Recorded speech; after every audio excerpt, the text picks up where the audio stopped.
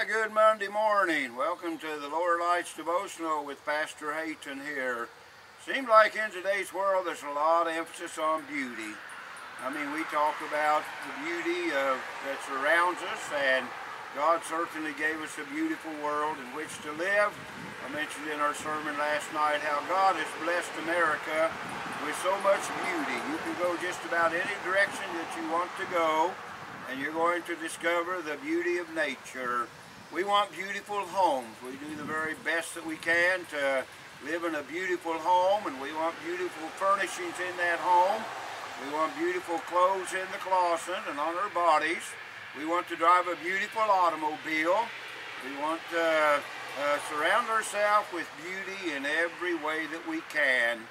And then have you noticed in the department stores, Walmart and the drug stores, how there's such a big beauty department where you can find all kinds of things, uh, cosmetics and other uh, things that are designed to make you beautiful. And there's a lot of advertisement on the TV and radio that are trying to convince us that if we'll buy their product or do what they're telling us to do, that we'll be a beautiful person. Well, there's nothing wrong with beauty. I know God likes beauty because he created such a beautiful world and He's given me such beautiful grandchildren and grandchildren, so I know that God must really like beauty. But you know, the most important beauty is what we used to sing of uh, when we were kids and young people. Let the beauty of Jesus be seen in me. And I think about the most important beauty today is not what others see when they look at the physical, but it's the beauty of Jesus seen in our life.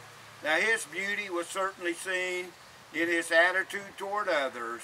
One thing that we know about Christ is that he loved people. And I know that everywhere he went, he found ways to manifest his love.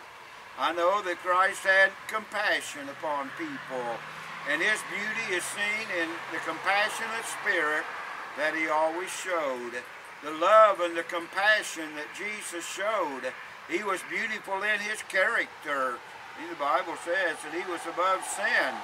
He, uh, he lived such a life that was above reproach. And I think that certainly we must admire the beauty of his character. So the beauty of his nature, that of love and mercy and compassion, the beauty of his character, should be the beauty that we all strive for. Now there's the only one way that I can think of that the beauty of Christ is seen in us, and that is to open our heart and allow Him to take up residence in our life. And if indeed Jesus lives within our heart, then His beauty is going to be seen.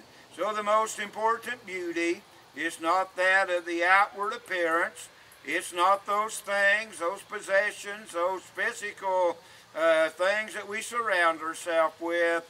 It's a beautiful spirit that reflects the spirit and the life of Christ. I want the beauty of Jesus to be seen in me. That little chorus, if I remember it right, says, Let the beauty of Jesus be seen in me.